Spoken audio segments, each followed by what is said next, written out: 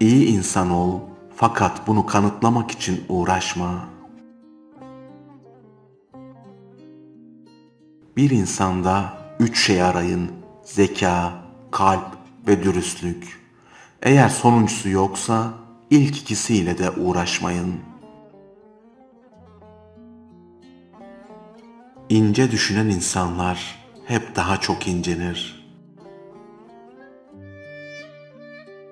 Herkesi memnun edemezsin. Bin doğru yapsan da bir yanlışını konuşur insanlar.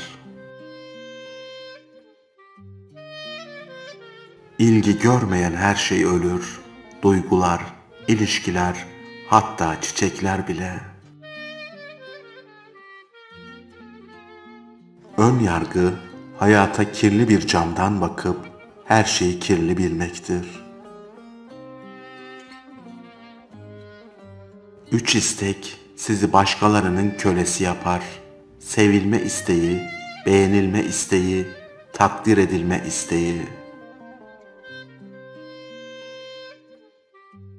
Dinleyecek ve anlayacak biri yoksa susmak akıllıca bir iştir. Asla pişman olmayın. Eğer sonucu iyiyse mükemmel, sonucu kötüyse bu bir tecrübedir. Mezardakilerin pişman olduğu şeyler için dünyadakiler birbirini yiyor.''